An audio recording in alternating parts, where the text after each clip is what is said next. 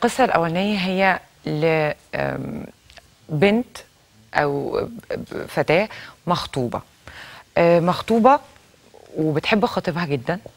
آه، بتقول إن هو كان قد إيه مهتم بيها قد إيه كان بيراعيها قد إيه آه، هي كانت فارقة معاه. طول الوقت كان بيجيب لها ورد وكان رايحه فين وجاية منين ويخرجها ويدلعها وكذا. وعشان كده رضوى أنا حبيته. بعد شوية شهور هو اتفق مع أهلها إن هو بيكون نفسه فاستأذن أهلها إنه فترة الخطوبة حطوه حبتين علشان الراجل يدخل مالي مركزه لحد كده ونقول له جزيل الشكر ألف شكر. قالت لي بعد فترة ابتدى يتغير ابتدى آه، معاملته وأسلوبه تختلف ابتدى ما يسألش عني زي الأول. ما يهدينيش. أتعب ما يسألش آه، آه، تعبتي ليه أو خدتي الدواء أو كذا زي ما كان متعود يعمل معايا. أنا قلت إن هو ممكن يكون عنده مشاكل في الشغل أو إن هو عنده مشاكل مادية أو كذا فأستحمله. شهر جر شهر جر شهر والعلاقة بقت علاقة فترة ومملة ومش لطيفة. وبقينا بنتكلم مرة في اليوم إن اتكلمنا؟ لحد ما جه قال لي أنا حاسس إن أنا محتاج بريك محتاج إجازة يعني. أفكر وأشوف إذا كنت أنا عايزة أكمل الجوازة دي ولا ما أكملهاش. السؤال هنا يا هل أطوعه وأقول له إن أنا موافقة وخد البريك أو خد الوقت بتاعك علشان تفكر؟ ولا أقول له لأ الموضوع خلص وانتهى وأنا أساسا آه، طلعان عيني معاك بقالي كام شهر ومش عايزة أصلا أكمل. أعمل إيه؟ الحقيقة إنه العلاقات مش زي بعض والرجالة مش زي بعض والستات مش زي بعض وكل اللي أنا بقوله ده كلام معروف ويعني ما فيهوش أي ذكاء. ولكن في قواعد عامة للعلاقات. لما انت هتكوني بتحبي صاحبتك ممكن تقعدي يوم ما تكلميهاش ممكن تقعدي اتنين ما تكلميهاش ممكن تقعدي تلاتة ممكن تقعدي أسبوع ما تكلميهاش. لكن لما بترجعوا تاني تتقابلوا أو ترجعوا تاني تتكلموا تلاقي نفسك عندك قصص وحكاوي وحكايات قد كده وتقولي لها اسكتي ده مش عارفة مين كلمني وعكسني ومين قال لي مش عارفة إيه ومين أنا إيه واتخانقت مع ماما وبابا قفش على ماما وحصل مش عارفة إيه. بتفتحوا قلوبكم لبعض. وما بيبقاش فيه فتور وما بيبقاش فيه إنه أنا مش طايقة ومتضايقة ومش عارفة إيه وكذا. ما بالك بقى الراجل اللي انت هتتجوزيه؟ أنا مش بتكلم خالص إن هو طلب وقت عشان يفكر إذا كان هو إذا كان هو عايزك ولا لأ دي جزئية ودي جزئية. أنا بتكلم عليكي انت دلوقتي. لما أنا أحس إن أنا أصلا بقيت ببلعه وبشرب وراه ثلاث كوبايات مية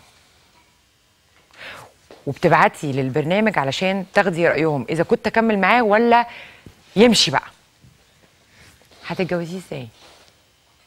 هتعيشي معاه إزاي؟ هيبقى في حياة زوجية ما بينك وما بينه إزاي؟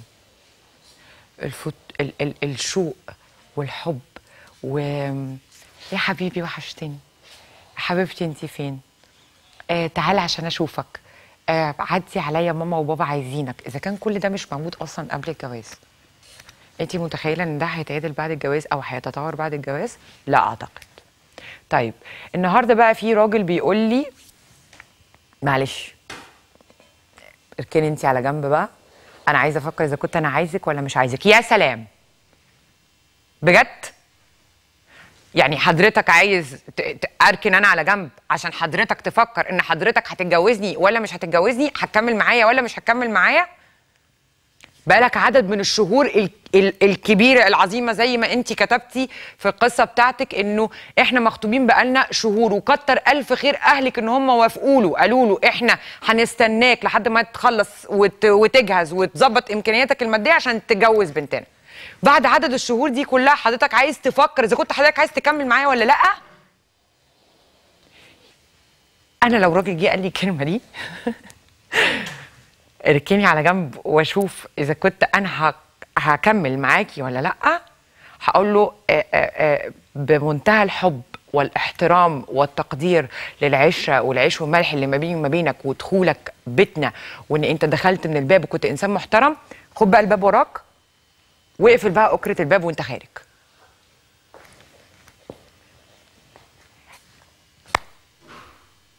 هفضل أقول طول الوقت أنتوا بتعملوا كده ليه؟ ليه؟ أنا مش عارفة أنتوا بتعملوا كده ليه؟ أنا هقول لراجل خد وقتك إذا كنت أنت عايز تكمل معايا ولا لأ. الحل الوحيد للمشكلة دي وأنا تقريبا بقيت بعمل كده في حاجات كتير قوي في حياتي. مش في مش في علاقة بقيت بعمل حاجات كتير قوي كده في حياتي. هتوقع الأسوأ. يعني انت هتقولي له لو انت حباه قوي ومتمسكة بيه قوي وعايزاه قوي أنا موافقة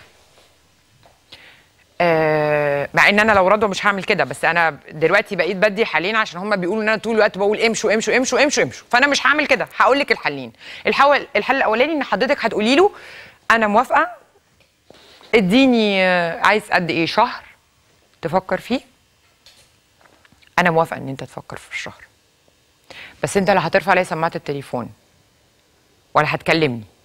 ولا لو لحشت لو وحشتك هتيجي تزورنا. ولا هتبعت لي ورد ولا هدايا. يعني حتى لو انت فكرت وبكرة قررت ان إحنا هنكمل مع بعض لا. انت عندك 30 يوم هتفكر فيهم سواء آه أو لا هترجع لي بعد 30 يوم مش بعد خمس أيام. ومش هترفعي لي سماعة التليفون ولو اتصل ما ترديش عليه خالص.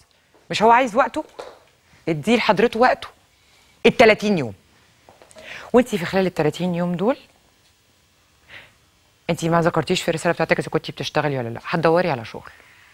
وهتشتغلي. وهتخلقي في ال 30 يوم دول حياة أخرى غيره بدونه. وهيبقى عندك أصحاب وهتخرجي والدنيا لطيفة وظريفة وهترتبي أمورك إنه ممكن يرجع يقول لك أنا مش مكمل. فانت ما تقعيش.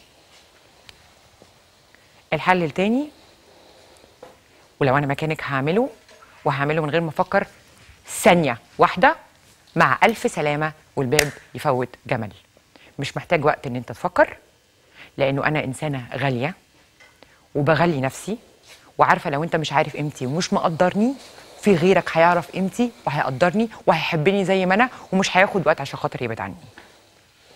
وده رأيي وبمنتهى الأمانة.